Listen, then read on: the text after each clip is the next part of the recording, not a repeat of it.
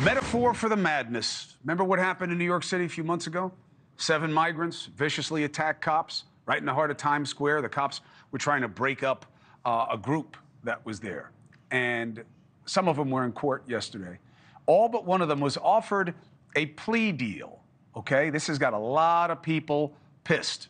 One of the accused cop beaters, who was out on bail, was arrested again last Friday after allegedly trying to steal some clothes and merch at Macy's. He was charged petty larceny uh, and criminal possession of stolen property related, both misdemeanors. Set free again the next day. So, offering these guys plea deals, does that satisfy justice? Okay, let's bring in attorney, former FBI special agent Stu Kaplan. Uh, Stu, it's good to see you, brother, as always. First of all, the main problem is the one guy is like uh, a, a, metaphor for the rotisserie system, right? He's, he gets involved with a cop. they let him out. He breaks another breaks the law again. Um, and the judge was yelling at him pretty good. But let's start there. That's the problem, right? You, you don't stop people doing small crimes. It's only a matter of time before they do bigger ones, right? That is correct. I mean, these individuals have, have shown a total disrespect to the criminal justice system, and certainly anybody who's willing uh, to assault a uniformed police officer or police officers certainly poses a greater risk to you and I. And so, you know, just to cut right to the issue, though, plea offers, plea negotiations, that in and of itself is not unusual. In fact, right. that's very typical. Uh, keep in mind, they're being offered, or some of them being offered, what's considered in New York State a D felony. They can be punished up to seven years.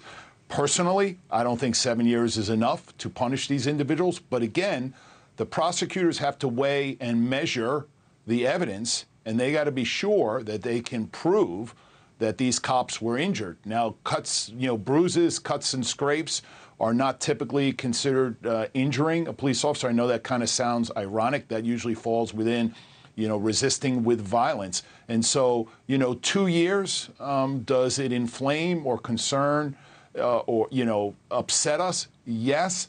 But if you leave out the legalities of their status or their lack of status here in the United States, uh, it's not outside the realm of what potentially would be offered in a case like this. You know what I want the audience to know right now? Sometimes when you come on, Stu, I'll get comments afterwards about like, you know, wow, Stu really has very strong politics that come out in his argumentation. I said, yeah, that's why I have him on. I want you guys to be, you know, kind of exposed to fulsome perspectives.